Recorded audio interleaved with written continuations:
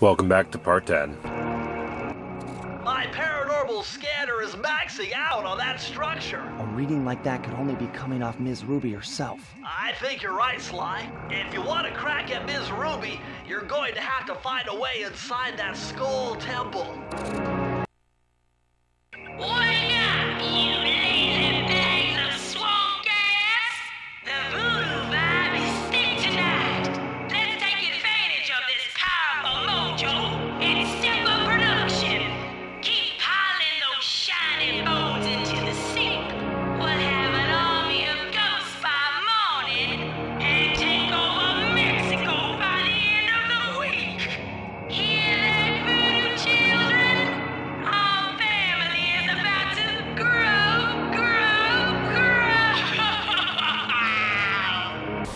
Okay, apparently she wants to take over Mexico for some weird reason. I, I can't imagine why, but anyways, there's that clue bottle I forgot.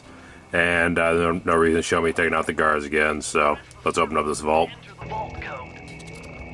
If I did my math right, and I always do my math right, then the combination has got to be 588. Oh, good thing you always do your math right, because I don't always do my math correct. Wish I was that good at math.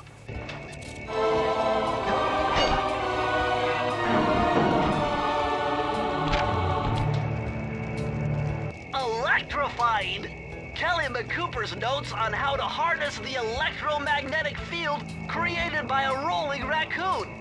Now your raccoon roll move will really pack a punch. Plus, it should give you a nice tingling sensation. Is that safe? That doesn't sound very safe, but uh, okay. So yeah, now uh, the raccoon roll uh, has an electric attack with it, so that's pretty cool. Uh, it makes the raccoon roll a lot more useful, if you ask me. And uh, yeah, looks like we can't get over to this area quite yet. That sucks. Although in actuality, it's not doesn't really suck because uh, yeah, I'm just gonna say it. The levels over there mostly suck. Like almost all of them. And here's the electric roll, by the way. So you can roll right into enemies and take them down, but uh, I, I don't know. I, I just never really liked the roll move that much. It, it's a little quicker than running, I find. In fact, a lot of people recommend uh, not trying the uh, the speedrun levels until you get the electric roll, but uh, I don't know. I just I'm not a big fan of it. Anyways, Lair of the Beast. What's with this industrial strike voodoo gate? Mz. Ruby must really be trying to keep something out. Or maybe she's trying to keep something in. Wouldn't shock me, actually. I mean, considering the name and all, that that kind of just suggests something's back there. So, uh, some good news though. This is one of the few levels in this world that actually is pretty fun. I actually really like this one. This one's pretty good. Uh, the others range from alright to god awful, unfortunately, so, yeah. This one, though, this one's pretty fun. This is definitely the highlight of this world, in my opinion. Alright, so go over here, and there's some more clue bottles for us. Hooray. And, uh, I don't plan on missing any clue bottles this time. Oh, hey, man. Wait a minute. You almost got me that time. but not this time. No. Thought maybe I could jump onto it, but no. Alright, there we go. And I believe that's all of them, so let's get moving. Yeah, backward slide. Now forwards. No. I mean, I could grab onto that branch, but apparently not. But there's a clue bottle hanging here, so get that, get that one. Oh, hello. Nice, uh, nice to meet you all. Not really, because, uh, screw spiders. I don't like them, what can I say? They are the most terrifying thing ever. Not as much as these ones, because they're, you know, digital, but, uh, in real life, oh god. Yeah, it's uh, for some reason they put a bunch of candles up here so they get in the way as you're walking up, so you gotta take those out. Kind of an odd design, but I, I guess it's just flavoring for the level design. Like, uh, yeah, it's a creepy voodoo swamp. Let's have candles everywhere, but who puts candles on branches like that? That is just weird. Seriously. Anyways, moving on. Oh boy, another spider. Alright, get over here. Going down. There we go. Okay, no bottles or anything over here. Good to see.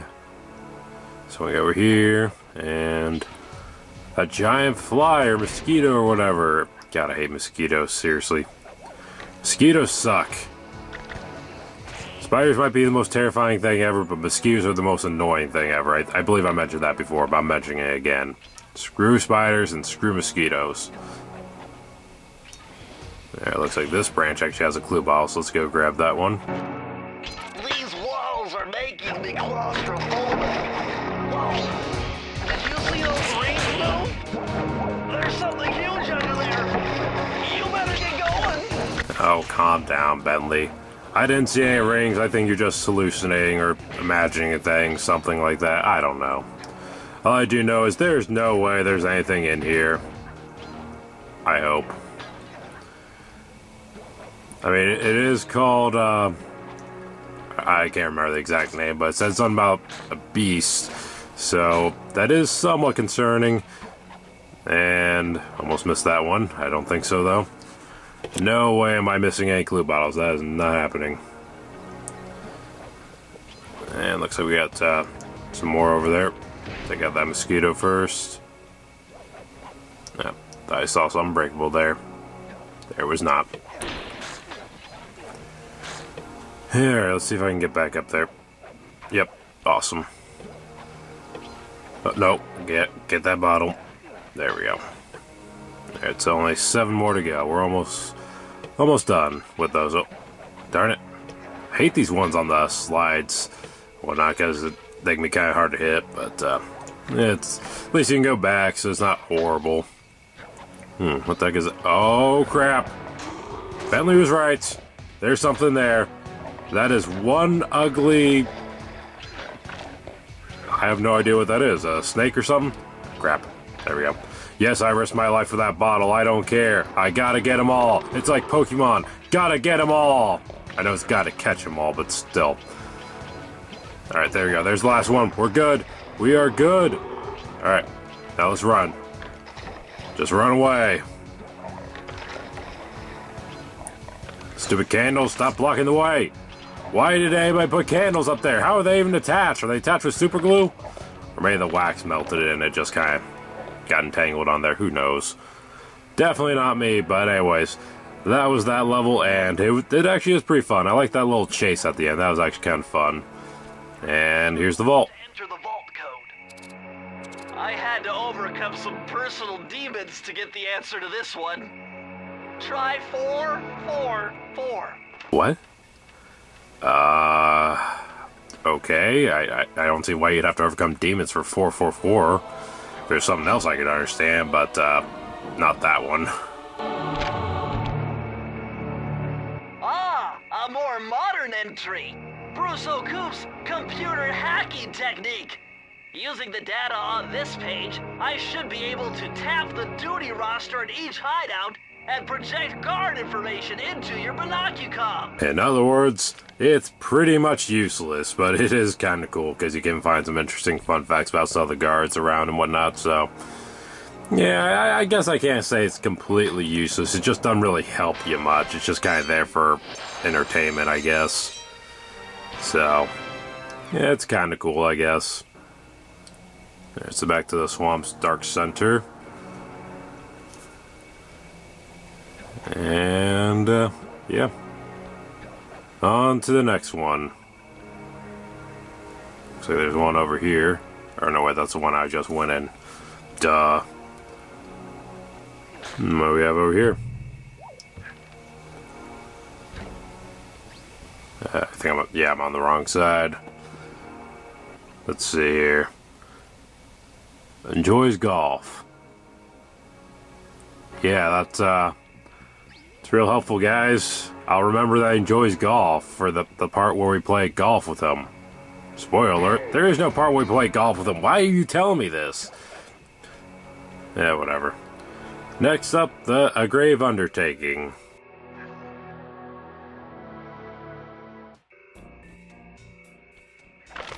Yeah, I actually think this one's not too bad now I remember think back on it. Yeah, it's the other one that I'm thinking I didn't really like too much, but this one's not so bad. Sly, you'd better be on your guard here. My paranormal scanners show this place is really haunted. Uh, I believe it. Because there are a lot of ghosts in this level, let me tell you. A lot of annoying ghosts. Now that was very interesting. Smash that gravestone, the ghosts stop coming. It must be some kind of ghost generator. Maybe if you smash them all, you'd be safe. Makes sense to me. So, yeah. Gonna have to smash a bunch of tombstones to get ghosts to stop coming out.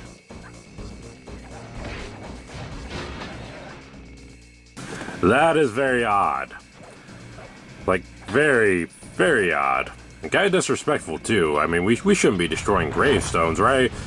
Yeah, that, yeah, maybe they're not their actual gravestones, because really, who would bury that many people under there, right? Who would bury that many ghosts under there? Nobody, I hope. Alright, so. Oh, almost missed that bottle. I don't think so. No way am I missing any.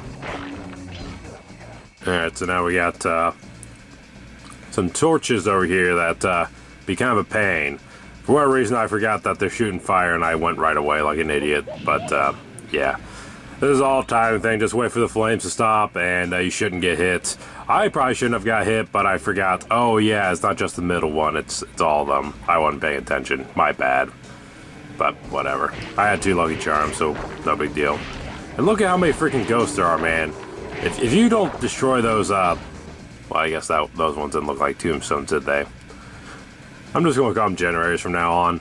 If you don't destroy those ghost generators, they can pour out pretty quickly and be quite the pain. I knew something had to be down there, so good thing I looked around. That's the name of the game, after all. You gotta look around to find everything. Looks like there's a safe over there. Oh, crap. Try this again. Alright. Sneak over here. Get that safe. Grab those bottles, too.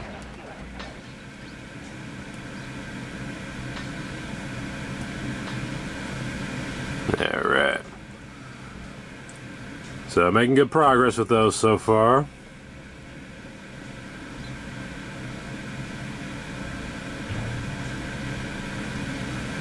Oh boy. Now we got lasers. So be careful on those because if you hit them, you'll set off the alarm.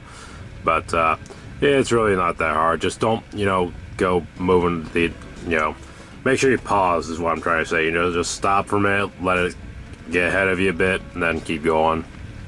So, yeah, it's not so bad. But it will set off the alarm, like I mentioned, so be careful around them. Unless you're trying to get through quickly, in which case, yeah, go and just, you know, hurry up. But uh, I'm not doing any speed runs here, so yeah. In fact, I've never done a speed run in my life, now I think about it. Maybe I should try that sometime. Okay. Jump over here. And, yeah, giant chandelier, where this is supposed to be called.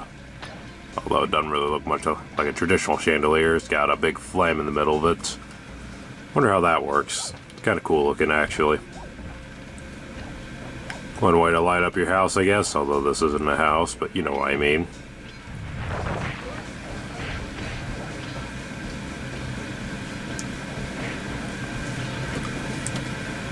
Yeah, it's, uh... Over here we got more of those torches, but, uh... Yeah, clue bottle up there. That's easy to miss, but thankfully I caught it. But, uh... Thing you want to do first is actually go over there. I didn't because I was like, uh, that seems like the way to go. No, this is the way to go. Over there some clue bottles that you want to get, so don't make the same mistake I did.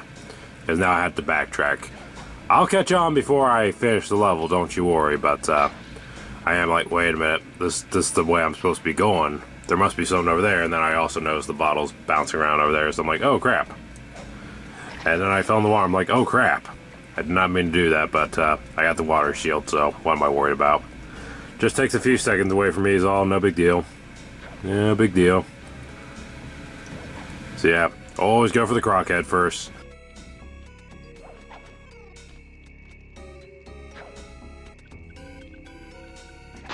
Look at those burning eyes. How are they how are they doing that? How do you get the flames going on there? I'm kinda curious now. I know I'm looking too far into this. I'm just curious. What can I say? I'm a curious fellow.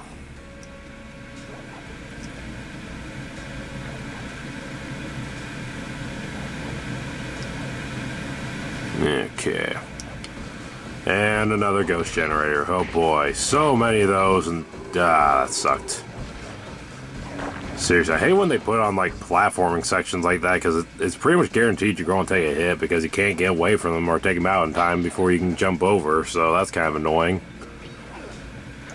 Anyways, though, safe over here. Let's open that up. Get those clue bottles, and we only got nine to go. Almost there, guys. Almost there.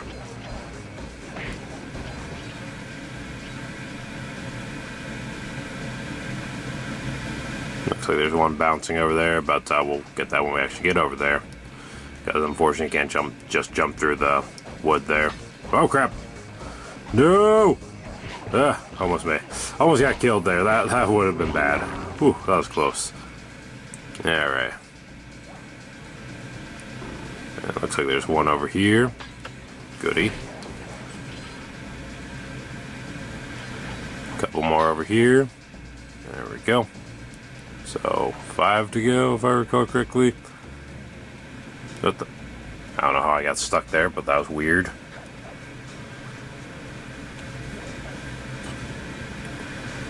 Alright, doesn't look like there's any more over here, so let's uh, go crap. Oh crap, more ghosts. Ah, shoot. Gosh darn it. Oh, that sucked. Alright, let's try that again. This time, no failing. And hey, there's a horseshoe over here. Lucky charm, my bad. I also got enough coins for the other one, so that's why I have a gold one instead of just the silver one. So yeah, if you actually have a full horseshoe, gosh darn lucky charm, uh, apparently they don't show up, but they they just they're just left there. That's interesting. I actually did not know that. We got over here. There's the vault, but uh, we're still missing four clue bottles. I wonder where they. Oh, there's a couple vaults over here. We're good. We got it, guys. Another perfect round. Let's open that vault. Press the circle to enter the vault code. Okay, okay, this is kind of a guess, but try 128. A guess? Really? Well, it worked.